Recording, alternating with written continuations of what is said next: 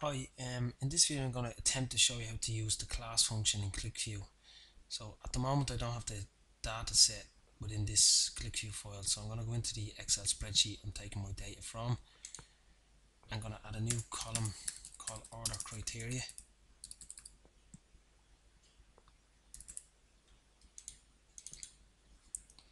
And I'm basically going to say give me random numbers between 1 and 59.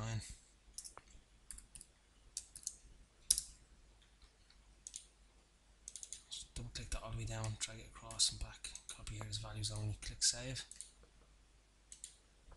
So I'm going to go back into the QlikView file, into the edit script. I'm going to uncomment where I have order criteria and reload the script.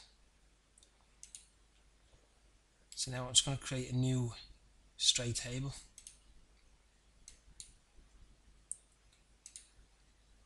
And instead of choosing order criteria, I'm going to uh, add a calculated dimension. And the dimension is equals class order criteria, comma 10. The 10, basically, I want them grouped in, in from 1 to 10, 11 to 20, etc.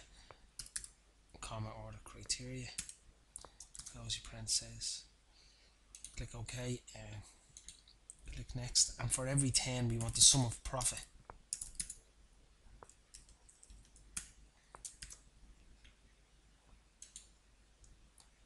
let's click next we're going to sort it by numeric value in ascending order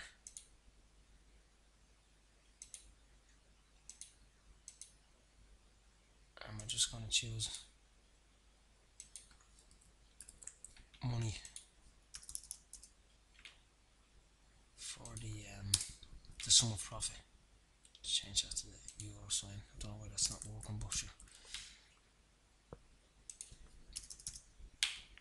Click finish.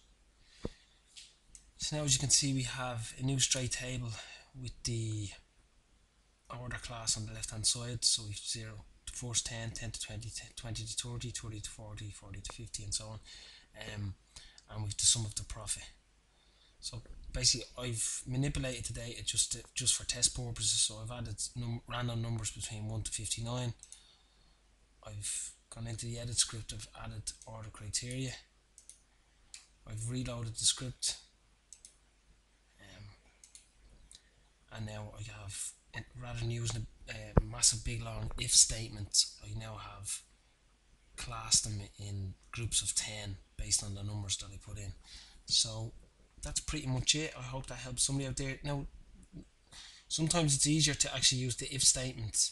Um, I'm basically, this is the example I'm using to explain how class can be used, but sometimes it is better to use an if statement because if I would, if I was to say numbers between 1 and 60, you'd start getting between 60 and 70, but you really want it to fall within the 60. So, um, anyway, it's, it's a quick example and it's, um, it's something that could uh, come in handy for somebody out there. So that's pretty much it. See you next video. Thanks.